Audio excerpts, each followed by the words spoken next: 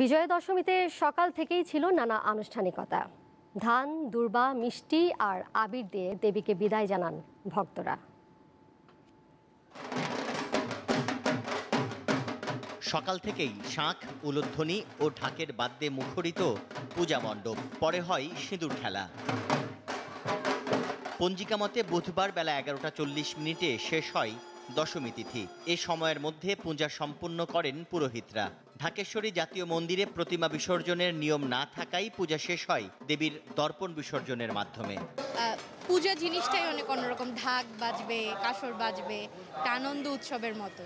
উৎসব যাই হোক, যারই হোক আমরা বাঙালি আমরা উৎসব আনন্দে মেতে উঠতে পছন্দ করি অনেক। তো এই বছর আরও ভালোভাবে এনজয় করেছি কিন্তু পরের বছর যেন আরও ভালো হয় সেই প্রার্থনাই করছি আচ্ছা অসাম্প্রদায়িক শুধুমাত্র যেন আমরা আমাদের মুখ পর্যন্ত বা কোনো একটা বক্তৃতা পর্যন্তই সীমাবদ্ধ না রাখি সেটা যেন বাস্তবে প্রকাশ করতে পারি বিজয় দশমীর পূজা শেষে মন্দিরে মণ্ডপে চলে সিঁদুর খেলা। একে অপরকে সিঁদুর পরিয়ে দিয়ে ভক্তরা নিজের পরিবারের এবং জগতের কল্যাণে প্রার্থনা করেন আরাধনা করেন দুর্গতি নাশিনীর। তো মাকে সিঁদুর ধান দুর্গা দিয়ে মিষ্টি পান সব কিছু দিয়ে বরণ করে মাকে কৈলাসে পাঠানো হবে। যে মাকে বরণ করলাম সিঁদুর দিলাম সবাইকে সবাইকে সিঁদুর পরালাম এই যে নাচলাম সবাইকে আনন্দ করলাম এটাই। পুজো আসার আগেই অনেক এক্সাইটমেন্ট থাকে কিন্তু আসলে তো খুব তাড়াতাড়ি চলে যায় শেষ হয়ে যায়। অঞ্জলি নিয়েছি অঞ্জলি নিয়ে মায়ের কাছে প্রার্থনা করলাম মা যেন সবাইকে ভালো রাখে সুস্থ রাখে। এবছর দেবী গজ বা হাতিতে চড়ে কৈলাস থেকে মর্তে আসেন আর ফিরছেন নৌকায়। আহ, এখানে গজের একটি শান্তশিষ্ট স্বভাব বা বিশেষ করে শস্য শস্যাদি ফলবে আবার নৌকাতে সেখানেও ঝড় বৃষ্টিরও একটা প্রভাব থাকবে। এবার সারা দেশে বত্রিশ হাজার একশো আটষট্টিটি মণ্ডপে হয় দুর্গাপূজা। এর মধ্যে রাজধানীর পূজা মণ্ডপের সংখ্যা দুশো বিয়াল্লিশ। তানভীর খন্দকার নিত্য সংবাদ ঢাকা। বিজয়া দশমীতে সকাল থেকেই ছিল নানা আনুষ্ঠানিকতা। ধান দুর্বা মিষ্টি আর আবির দিয়ে দেবীকে বিদায় জানান ভক্তরা। সকাল থেকেই শাঁখ, উলুধ্বনি ও ঢাকের বাদ্যে মুখরিত পূজা মণ্ডপ। পরে হয় সিঁদুর খেলা। পঞ্জিকা মতে বুধবার বেলা এগারোটা চল্লিশ মিনিটে শেষ হয় দশমী তিথি। এ সময়ের মধ্যে পূজা সম্পূর্ণ করেন পুরোহিতরা।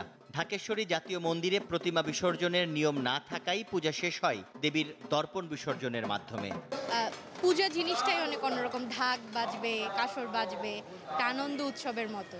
উৎসব যাই হোক যারই হোক আমরা বাঙালি আমরা উৎসব আনন্দে মেতে উঠতে পছন্দ করি। তো এই বছর আরও ভালোভাবে এনজয় করেছি কিন্তু পরের বছর যেন আরও ভালো হয় সেই প্রার্থনাই করছি। আচ্ছা অসাম্প্রদায়িক শুধুমাত্র যেন আমরা আমাদের মুখ পর্যন্ত বা কোনো একটা বক্তৃতা পর্যন্তই সীমাবদ্ধ না রাখি সেটা যেন বাস্তবে প্রকাশ করতে পারি। বিজয় দশমীর পূজা শেষে মন্দিরে মণ্ডপে চলে সিঁদুর খেলা। একে অপরকে সিঁদুর পরিয়ে দিয়ে ভক্তরা নিজের পরিবারের এবং জগতের কল্যাণে প্রার্থনা করেন আরাধনা করেন দুর্গতি নাশিনীর। তো মাকে সিঁদুর ধান দুর্গা দিয়ে মিষ্টি পান সব কিছু দিয়ে বরণ করে মাকে কৈলাসে পাঠানো হবে। যে মাকে বরণ করলাম সিঁদুর দিলাম সবাইকে সবাইকে সিঁদুর পরালাম এই যে নাচলাম সবাইকে আনন্দ করলাম এটাই। পুজো আসার আগেই অনেক এক্সাইটমেন্ট থাকে কিন্তু আসলে তো খুব তাড়াতাড়ি চলে যায় শেষ হয়ে যায়। অঞ্জলি নিয়েছি অঞ্জলি নিয়ে মায়ের কাছে প্রার্থনা করলাম মা যেন সবাইকে ভালো রাখে সুস্থ রাখে। এবছর দেবী গজ বা হাতিতে চড়ে কৈলাস থেকে মর্তে আসেন আর ফিরছেন নৌকায়। এখানে গজের একটি শান্তশিষ্ট স্বভাব বা বিশেষ করে শস্য আদি ফলবে আবার নৌকাতে সেখানেও ঝড়, বৃষ্টিরও একটা প্রভাব থাকবে। এবার সারা দেশে বত্রিশ হাজার একশো আটষট্টিটি মণ্ডপে হয় দুর্গাপূজা। এর মধ্যে রাজধানীর পূজা মণ্ডপের সংখ্যা দুশো বিয়াল্লিশ। তানভীর খন্দকার, দ্বিতীয় সংবাদ, ঢাকা।